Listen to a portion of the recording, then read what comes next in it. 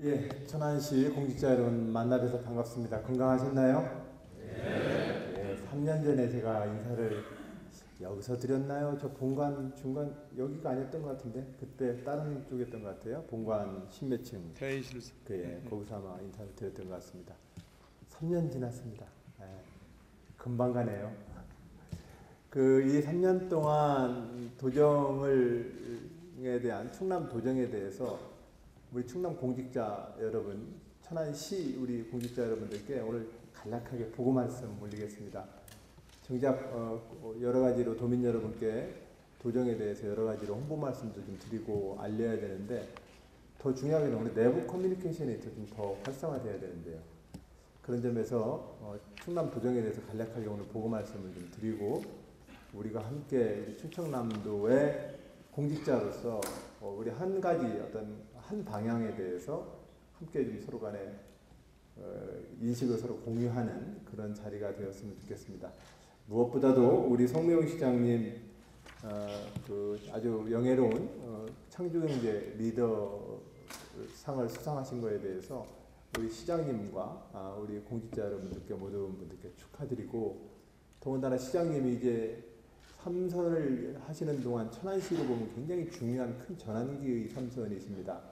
그 과정에 참 많은 일들이 있었고 천안시로서는 굉장히 중요한 시기였는데 그 시기를 함께 잘 이끌어 주신 우리 시장님과 우리 천안시 공직자 여러분들께 도지사로서 진심으로 감사 인사 올립니다.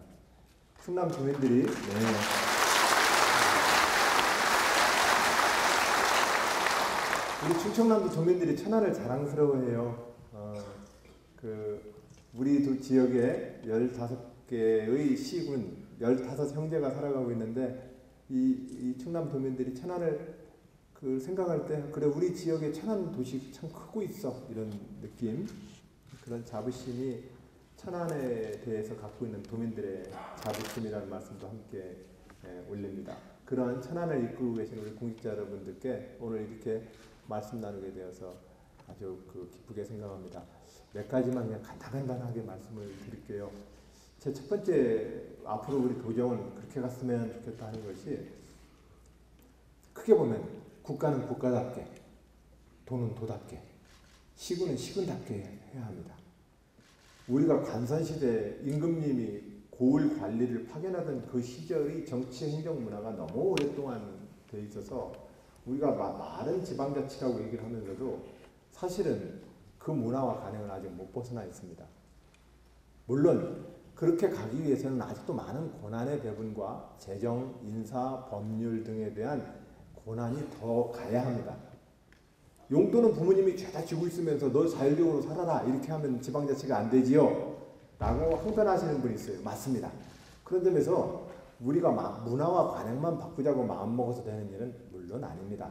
제도적으로 변화가 있어야 되는데 그러나 저는 충남 도정이 지방자치법상에 나와 있는 국가유임 사무에 대한 관리 감독의 업무에 머무르지 말자고 저는 충남도 공직자들에게 매번 다짐하고 있습니다.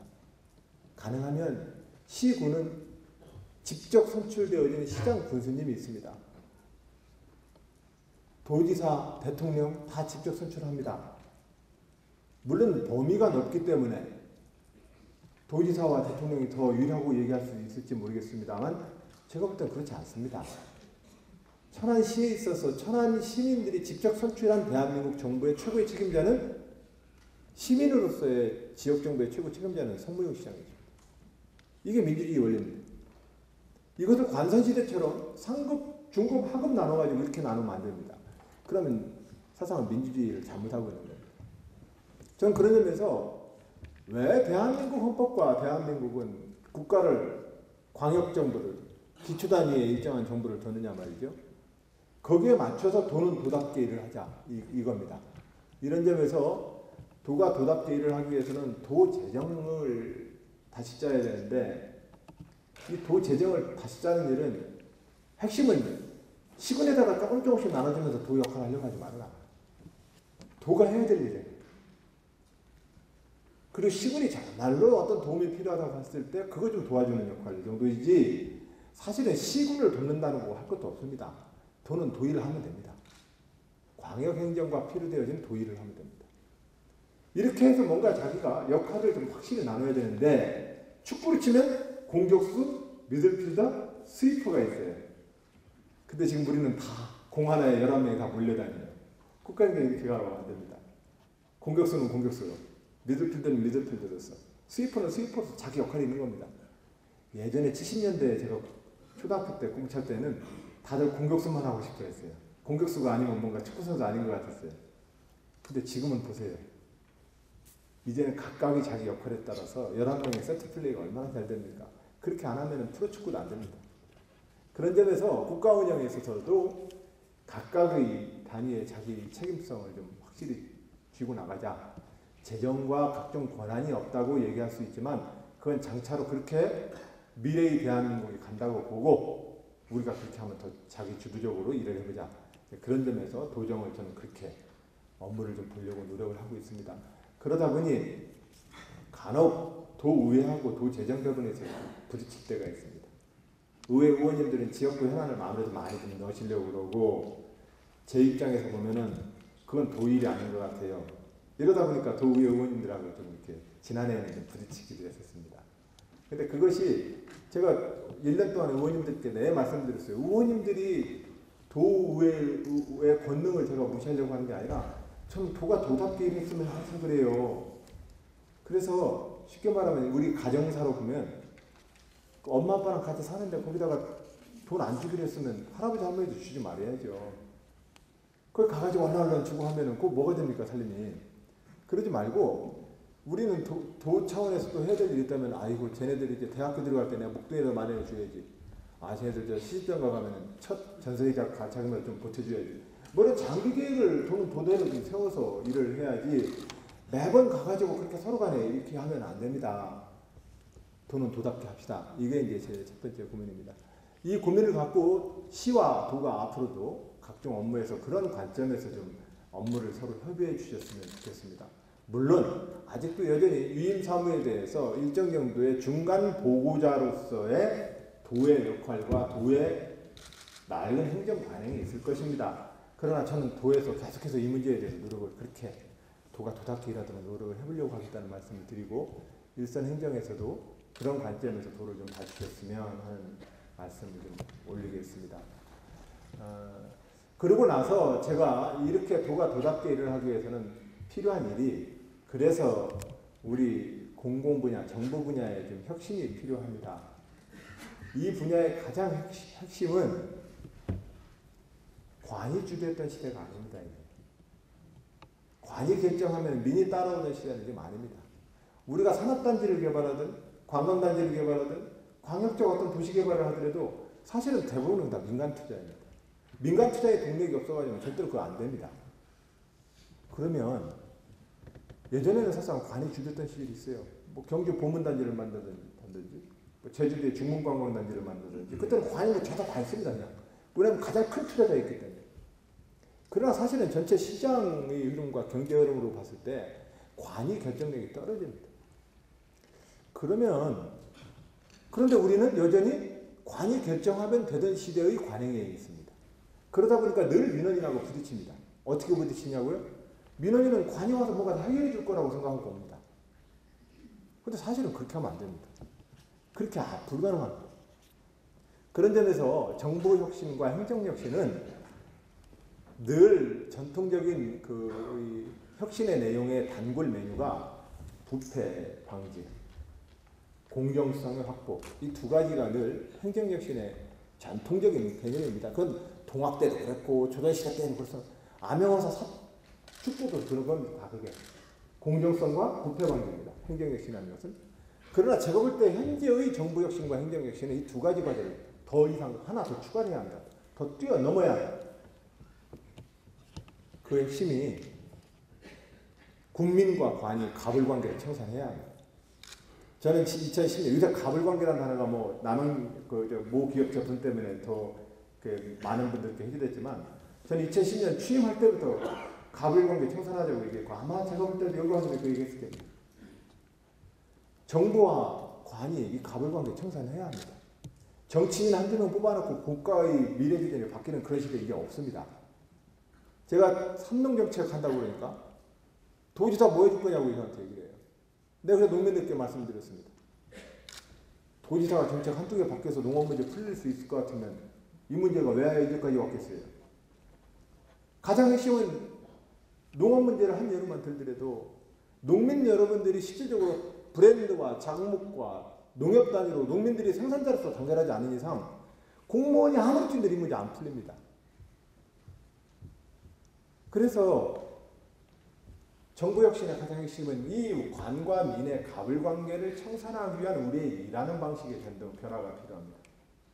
이 일하는 방식의 변화는 우리 마인드부터가 관이 주도해서 이 사회가 바뀐다는 마음을 없애야 하는데 그러나 또 한편으로 보면 또 우리 내부에는 꼭 필요한 마음이 있습니다. 정부의 공직의 권위를 되찾아야 합니다. 모든 사람들은 각자의 가족과 개인의 이익을 위해서 살아갑니다. 물론 각자의 개인의 이익과 이윤을 위한 삶은 한 사회의 직업 윤리로 잘 정착이 될 때라야만 그 사회가 좋아집니다. 의사는 아픈 환자를 위해서 있는 직업이 의사여야 합니다. 의사는 돈을 벌기 위한 직업이 아닙니다. 쉽게 말하면 이 직업 윤리가 바탕에 깔려야만 그 사회가 좋은 사회로 되는데 우리 사회는 사실상은 모든 직업에 대해서 그것이 돈벌이 기준이지 그 직업을 통해서 내 가치가 어떻게 실현되는지 그 직업 의미가 뭔지에 대해서 우리는 따져러 물어본 지가 너무 오래됐습니다. 사실 안 물어봤습니다. 아직도 많은 초중고등학교에서 아이들을 키우고 있습니다. 이 상태로는 대한민국 미래를 못 갑니다. 제가 노무현 대통령과 함께 참여정부 5년을 겪으면서 느꼈던 절실한 마음.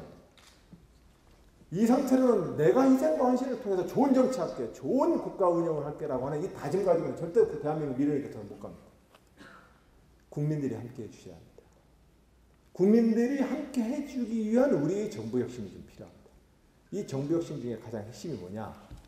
참여시킬 수 있는 어떤 고주를 만들어줘야 합니다. 참여시키려면 뭘 해야 됩니까? 우리가 하는 일을 다 공개해야 합니다. 알려줘야 합니다. 알려야 참견을 하든 훈수를 두든 시비를 하든 오죠. 그래서 행정혁신의 가장 큰 틀로서는 주도적으로 공무원들이 일할 수 있는 어떤 여건과 제도적 문화적 틀을 만들기 위한 노력을 충청남도에서는 계속해서 해왔고 지난 3년 동안 우리 도에서는 독서대학을 계속해서 운영해서 업무와 관련되어서 읽는 책은 독서 아니에요. 문학이나 인문, 철학 책이거든요. 그래서 실질적으로 자기가 느끼는 삶의 열정과 따뜻한 사랑이 있어야 그, 그것이 미천에 대해서 자기 직업에 대한 열정으로 오는데 인간과 사람과 역사에 대한 자기의 원 미천을 안 먹어버리면 이 열정이 고갈져 버립니다. 그러면 좋은 직업 윤리를 갖기가 어렵습니다. 그래서 결과적으로 모든 출발은 사람에 대한 사랑인 겁니다. 내 자신에 대한 자부심과 이 자부심이 연장되어야 되는 타인에 대한 사랑이 우리 열정을 만들어내는데 이 열정은 독서를 통해서 남아요. 그러니까 독서 열심히 하자고 계속해서 하고 있습니다. 그러니까 독서를 해가지고 좀책안 읽으면 조금 승진 점수에 불이익을 계속 받습니다. 그 책들을 제법 많이 읽습니다. 1년에 지금 우리가 얼마 씁니까? 독서 예산? 도청 직원들한테 3억 쓰나요? 예. 네, 한 3억여 원 씁니다. 아, 책값으로만 직원들한테.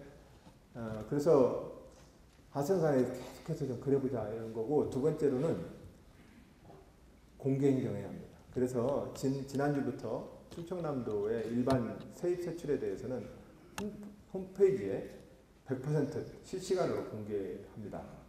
그래서 오늘 도의 수입이 얼마 됐고 오늘 도의 지출이 얼마 되는데 지출 항목을 누르면 지출 항목별로 쭉 또 찾아가면 그 돈이 지금 어디까지 가 있는지에 대해서 확인할 수 있게 해놨습니다. 그래서 각각의 그 분야에서 이해 당사자들이 또 그 이해관계를 가지고 있는 시민들이 그 정보 속에서 저는 국가행정에 대해서 참여할 수 있기를 바랍니다. 또한 그리고 CI 토큰은 현재 여러분들 뭐 다들 같이 운영을 하고 있습니다만 우리 18,000여 명 공직자가 내부 커뮤니케이션을 좀 더 강화해야 되고 여러분들이 아침에 들어와서 키는 업무용 행정 포탈의 그 화면을 저는 장차로 통일해야 된다고 생각합니다. 국가도 통일해야 합니다. 그래서 공직사회가 내부 커뮤니케이션을 강화해야 합니다. 내부 커뮤니케이션을 강화하지 않는 이상 실질적으로 국민과의 일하는 관계에서 엄마 아빠가 서로 딴소리를 아이들한테 하는 거나 똑같은 현상을 우리는 듣고 있는 겁니다. 그러려면 내부 커뮤니케이션을 강화해야 합니다. 지난해 정도에 이제 복지와 관련되어서 어, 여성가족부, 보건복지부 각종 복지 자- 업무에 대한 업무 통합이 그때 전산 통합이 지난해 처음 이루어졌는데 노동부와 관련된 일하는 사람들은 또 쫙넷에서부터 네트워크가 서로 다릅니다. 두 개 있습니다. 그것도.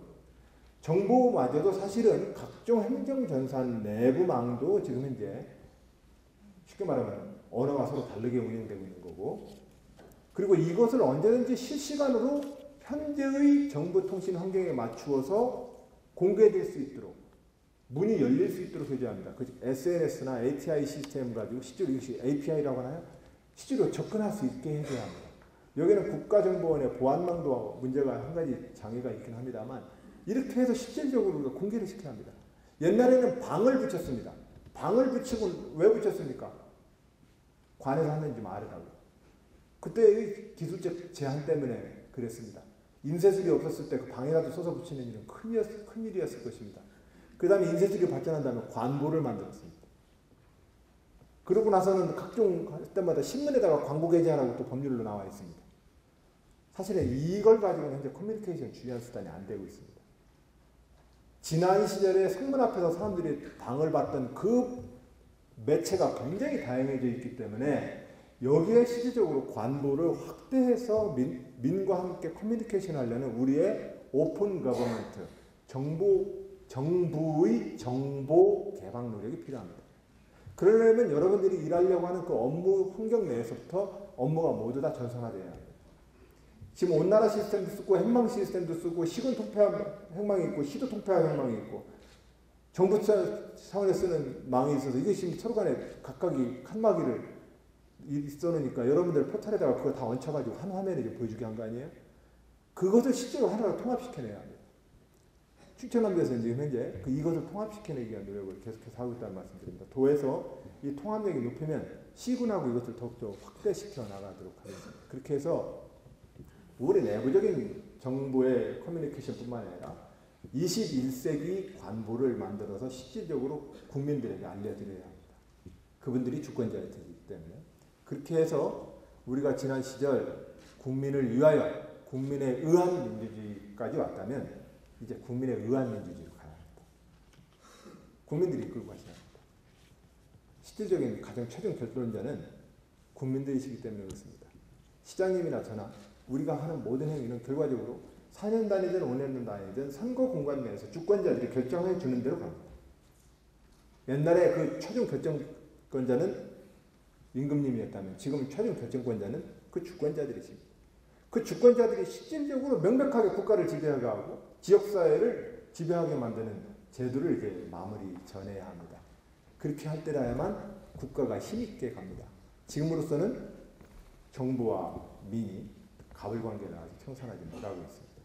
이제 이런 것이 추천남도에서 하고 있는 행정혁신의 가장 핵심적인 노력입니다. 그리고 그러한 정신을 가지고 농업 정책을 바라보니까 농업 정책도 신규 재정 사업이 아니라 결과적으로는 이 문제에 대해서 갑을 관계를 형성하는 문제입니다. 여기 저 천안에 있는 중부물류센터 그 4년 만에 우리가 다 450억 원, 딱 3년 반 만에 450억 원다 까먹어버렸어요. 그 공무원이 무능해서 까먹었을까요? 물론 중간 유통 도매상들에 비해서 무능하다고 얘기할 수 있겠죠. 그러나 그것은 무능 유능을 따질 수 있는 문제가 아닙니다. 이미 우리가 그 구조가 그렇게 서 있는 겁니다. 중소기업 지원자금도 마찬가지입니다. 재래시장, 전통시장 현대화 사업에 대한 제언도 마찬가지입니다. 전통시장 현대화 사업 지원 사업이 실질적으로 큰 가장 성공을 발휘하려면 어떻게 해야 됩니까? 그 사실상은 전통시장 상인들이 그 시장 마켓을 운영하기 위해서 확실한 조합을 구성해서 실제로 시장을 운영할 수 있어야 합니다. 그런 상태, 즉 지금의 대한민국의 모든 과제는 국민들이 참여하지 않으면 더 이상 못 간다는 겁니다. 그래서 그것을 하기 위한 우리의 노력들을 그렇게 좀 하고 있다는 말씀 좀 올립니다. 도정, 도가 도답게, 국가는 국가답게, 시군은 시군답게 각자 그런 점에서 도는 도답게 일을 하기 위한 방식을 찾기 위해서 노력하고 있다는 말씀을 첫 번째로 드린 것이고 두 번째로 도에서 제가 지금 계속해서 하고 있는 것은 정부 혁신의 길인데 정부 혁신의 가장 핵심은 가불 관계를 극복하는 일입니다. 부패를 청산하고 불공정성을 극복하는 일은 너무나도 기본적인 해야 될 일이지만 지금 이 시대에 꼭 우리가 해야 될 것은 가불 관계를 청산해야 합니다. 쉽게 말하면 한 가족사로 보면 유치원 때까지는 엄마 아빠들이 가서 청소해 주잖아요. 조금 지나면 각자 청소해야 되는 겁니다. 대한민국이 적어도 지금 중학교, 고등학교, 대학교 수준이 되는 겁니다. 거기다 대고 지금 부모님들이 가서 방과 후에 청소해주면 안 됩니다. 우리 모두가 같이 해야 합니다. 이것을 하기 위한 정부의 역할을 해야 합니다. 이 관점이 조금 더 확대되면 어떻게 됩니까? 국가의 거시경제 정책에서 환율 정책을 어떻게 할 것인지, 금리 정책을 어떻게 할 것인지, 다 이거 마찬가지입니다. 시장에 대해서 정부가 어떤 영향을, 영, 영향력을 행사해야 될 것인가에 대해서 정부가 자기 해야 될 영역에서 매우 정확한 자기 역할을 차지합니다. 이제까지는 그다 정부가 다 했거든요. 그러니까 이 부분으로 정부의 역할을 재구조화시키는 작업, 이 작업에 성공하는 나라가 21세기 강국이 될 겁니다. 그러나 20세기 전통적 방식으로 계속해서 이 지지고 볶으면서 끌고 가고 밀고 가고 하는 이 시스템으로 가버리면 21세기 국가 균형은 떨어지고 그 나라는 21세기 강대국이 될 수가 없습니다. 그것이 제가 우리 충청남도에서 정부 혁신을 통해서 대한민국에 기여하고자 하는 저희 정치인으로서 저의 소신입니다. 제가 기여하고자 하는 제 직업적 윤리입니다. 그런 점에서 도에서 행정혁신 작업을 그렇게 진행하고 있고 그러한 정신으로 중소기업 정책, 삼농 정책, 어, 이는 몇 가지 사업들을 지난 3년 동안 한 두 가지 해봤네요. 나머지는 또 물론 안 한 건 아닙니다만 도지사의 집중적 관심으로 그 두 가지 과제를 집중적으로 하고 올해 문화예술과 체육 그리고 정주 여건을 포함한 상생산업단지에 대한 어, 지역의 산업단지 정책들을 우리 도에서 좀 더 점검할 겁니다. 그런 관점으로 도가 도의 일들을 계속해서 좀 만들어 나가고 점검해 나가겠다는 말씀드립니다. 그리고 끝으로 대표 신도시로 지난해 말에 우리 시장님 말씀처럼 잘 이사 왔습니다. 시장님들 그 과정에서 같이 힘을 모아주셨고 격려해 주셔서 감사합니다. 우리가 농업국가 시절 대한민국의 국도 1호선은 신의지와 목포, 곡창지대를 이루는 도로였습니다. 우리가 1896년 고종황제 33년에 처음으로 충청도, 경상도 이 팔도 체계가 남북도 체제로 그때 나뉘었습니다. 그 시대에 우리 충청남도가 차지했던 농업 국가 시대 대한민국에 기여했던 충청남도의 그 역사 시절에 우리는 공주가 도청 수혜지였습니다. 그 뒤 경부선을 축으로 하는 일제 강점기와 산업화 시대 우리는 도청을 대전으로 옮겨서 대한민국 국토의 중심으로서 교통의 중심으로서 충청남도가 대한민국 산업화의 중심추 역할을 했습니다. 70년대 후반부터 제2청사를 옮기고 대덕연구단지를 만들고 산업화 시대에 큰축 역할을 했습니다. 이제 우리가 내포 시대로 충청남도 도청을 옮겼습니다. 어떤 시대의 흐름이기 때문에 옮겼겠습니까? 결정은 신대평 이사님 시절에 했습니다만 왜 우리는 이 결정이 이 시대에 이루어졌겠습니까? 지명 하나도 다 이유가 있어서 지어지는 거 아니겠습니까? 환황의 아시아 경제 시대 때문에 그렇습니다. 이 시대를 대비하는 충청남도 도정이 될 수 있도록 우리 도민 여러분들 함께 힘을 응원해 주시고 모아주시기 바랍니다. 어, 천안시 공직자 여러분 이상으로 도정에 대한 간략한 저의 도정 흐름에 대한 보고 말씀을 마치도록 하겠습니다. 고맙습니다. Amen.